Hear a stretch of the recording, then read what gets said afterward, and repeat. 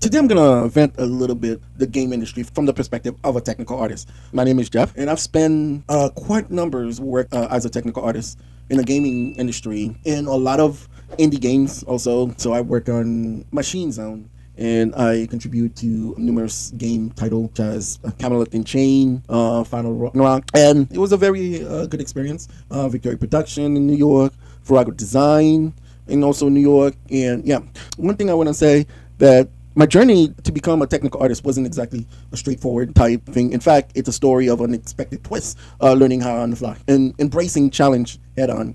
Today, we're diving into what it meant to be a technical artist, the challenge we face, and how this role is shaping the future of video game, of game development, whether you're an inspiring uh, technical artist, a game dev veteran, or just someone curious about how games are made this is just a little bit of what I'm going to be venting about. So yeah, in the background you'll have a sped up uh, video. I will stop mid sentence some to explain and what I do, and mostly things from this tutorial would be things that we already covered such as all the suspension so if you if you go episode two on this tutorial you'll see like and then these are all recaps of what i'm doing right now uh, so and then anything new that i'm doing on this tutorial i will pause and then go on with um, and explaining what i what i'm doing first thing first what is exactly a technical artist? If you're not familiar with the role, it's one of those jobs that's a bit hard to define because it is it sit at the intersection of art and technology. In simple terms, a technical artist is the glue that holds the art and engineer team together. We're we're the one who makes sure that the incredible asset uh, created by artists, like character, environment, and effects, can actually run smooth in the game engine. This means rewrite tools to streamline workflow, optimize asset to create frame rate uh, high and, and create shaders in material that makes everything look stunning. It's a mix of coding, problem solving, and a whole lot of collaboration. Let me take a step back and share a bit about my journey. I actually started my career as a programmer. I went to school for programming with a focus of game animation specializing in language like C++, Java. I th- Python was not really big at the time. I thought I was going to be writing code for game engine or tools, but my life had other plans. my first job out of school was as an animator at a company in New York. It was a bit of a curveball, but I was excited to dive into the creative side of game development then one day we hit a snag. We needed a rig uh, to rig a character, and no one on the team, including me, knew how to do it. I remember thinking, well, I've got a programming background. How hard can it be? So I volunteered to take on the task. Uh, that day turns into weeks of learning, experimenting, and problem solving. And you know what? I fell in love with it. Rigging became my gateway into the world of technical artists and it ultimately shaped my career. From there, I started branching out into other areas, writing tools for animators, optimizing asset, and even diving into shaders programming. It's been a wild ride, but I wouldn't trade it for anything. Of course, being a technical artist isn't all sunshine and rainbow. One of the biggest challenge we face is balancing visual quality with performance. For example, artists might create this incredible details character model with millions of polygons, but if it brings the game to a crawl, it's our job to find ways to optimize it without sacrificing too much of the original vision. This often involves creating LODs, level of details model, baking high poly details into normal map, or even writing custom shader to fake complexity. Another challenge is communication. We're constantly translating between artists and engineer who often have very different priorities. Artists want the game to look amazing, while the engineers want it to run smoothly. It's our job to find that sweet spot where everyone's happy. Let's talk about the tools we use. As a technical artist, you need to be proficient in a wide range of software in programming language. On the art side, tools like Maya, Blender, ZBrush, and Substance Painter are essential for creating an optimized asset. On the tech side, you'll need to know scripting language like Python or C++ to automate tasks and creating custom tools. And then there are game in engine like Unreal and Unity and also in-house engine, which are the heart of everything we do. Knowing how to wor- work with these engine, whether it's creating material, setting up lighting, or optimizing performance, it's absolutely crucial. Looking ahead, I'm really excited about whether the role of technical artist is headed. Technology like real-time ray tracing, procedural generation, and AI-driven tools are opening a new possibility for what we can achieve in game. For example, tools like Houdini are allowing us to create complex procedural environment that would have been impossible to build by hand. And with AI, we're starting to see tools that can automate tasks like texturing creation or even animation. But with these advancements, comes new challenges. As game becomes more visual complex, the demand for optimization and performance turning will only increase. And that's where technical artists will continue to play a crucial role. If you're listening to this and thinking about becoming a technical artist, here's my advice. Start by building a strong foundation in both art and programming. You don't need to be an expert in both, but having a solid understanding of each will set you up for success. Next, get hands-on experience. Work on personal projects contribute to open source tool, or collaborate with others on Game Jam. The more you can showcase your ability to solve real world problem the better. And finally, don't be afraid to ask questions or seek out mentors. The game industry is full of talented people who are usually more than willing to share their knowledge. Learning from others is one of the best ways to grow in this field. All right, so I rename all the object so it's easier for me to when, whenever I'm doing like the whenever I'm doing the expression, it's easier for me to uh, know which object is which. So um, doing it with the with the operation, uh, and it didn't work in my favor.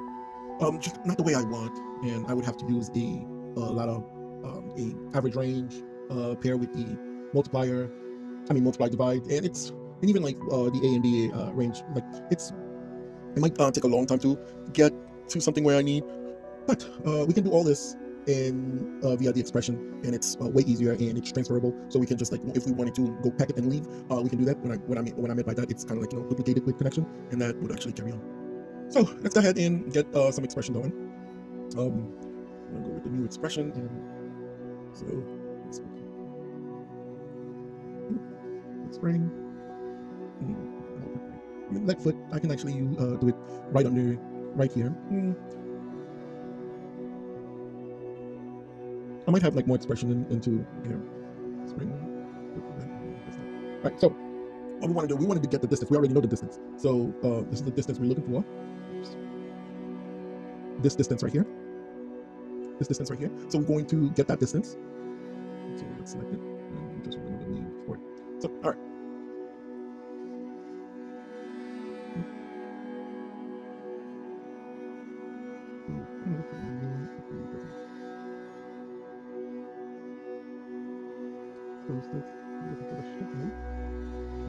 That's where the distance is, which is right here.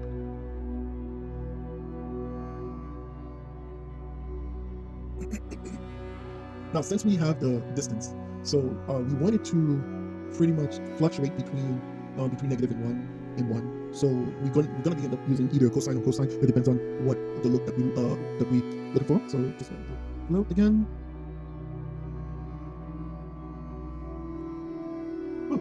Normalize. Okay, so which which would be the distance that we already declared. So 10. So the exact same operation that we did when we divided the multiplier 10 by 10 equals 1. So we wanted to make sure the distance, the distance that we have, we divided by itself. And then, uh, and now we can assign um, all the mesh compressors. So right here, all the mesh compressors into a cosine. I mean, it's cosine sine. Um, it depends on like I probably will uh, see which which is uh, better actually. So I'm just gonna go ahead and start with this. And let's just one. And uh, what I need is actually translate. Make sure everything like zero.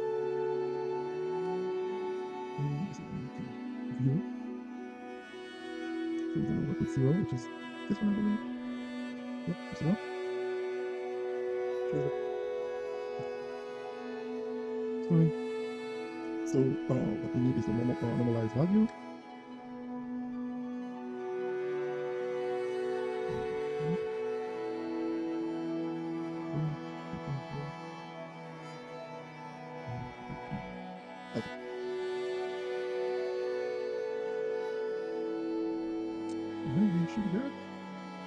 Let's test it out. And hopefully we don't have any. Yep, we do have. Uh, it, it does give us uh, some value. So let's see exactly what it's going to do. Nice, cool. Um, it might, not want it to go too far.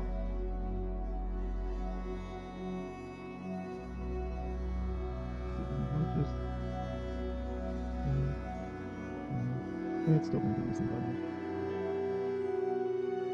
But no matter what, still going to give me the same value. So we might want to tweak um, this value right here because it will give us the value of 1.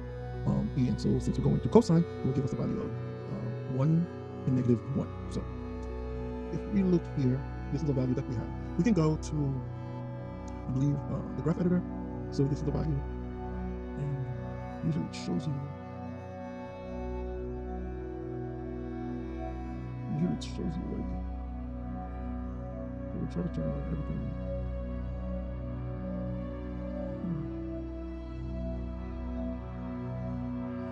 Usually it gives you a value uh, for it, but for some reason it's not giving me any uh, any of the value. So, um, although you couldn't do anything to it, it's just it's just there for it's just there for visual. But anyway, let's uh, start plug everything in, and we can reduce those values there. I say first?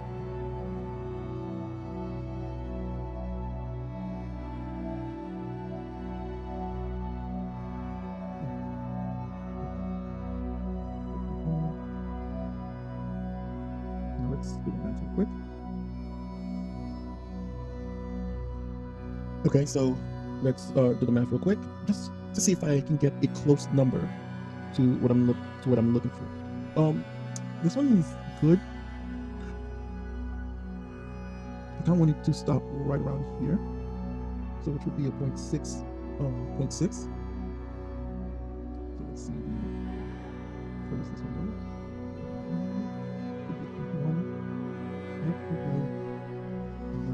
six.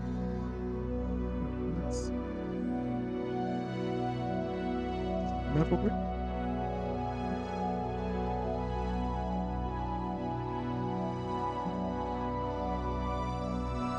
So we're gonna take the distance.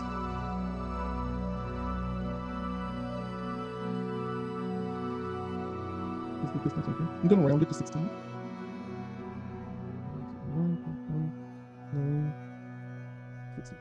So it takes uh, 1916 uh, um, uh, minus 10 divided by 10, so that would be, um, so if you remember PEMDAS, that uh, would be 19 uh, divided by 10, and also 10 divided by 10 equals 1. So we could just, just say uh, minus 1. So that is the result that it gave us so right here. So now uh, because it uh, cosine, cosine, so it's fluctuate between these uh, this this number right here.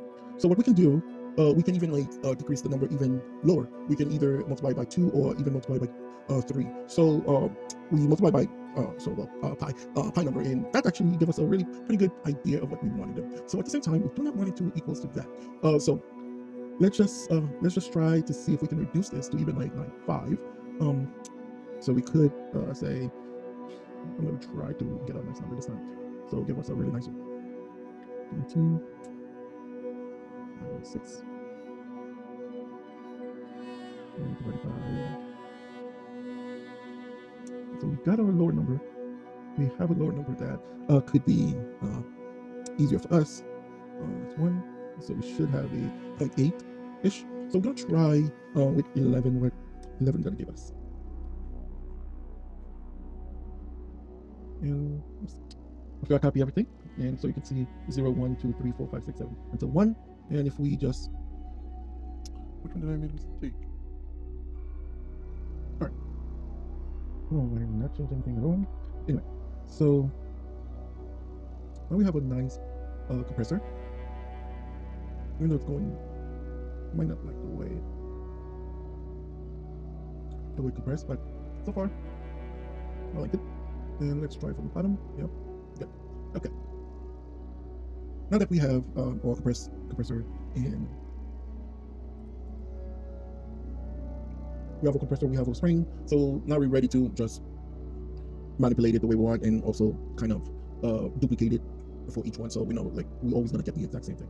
So uh, we could do we could do that. And since it's it is using the um, expression, we might have to rename these just to make sure that uh, the expression that we're using and it's perfect. And I am going to be combining these guys to make sure that it is duplicated with the entire thing.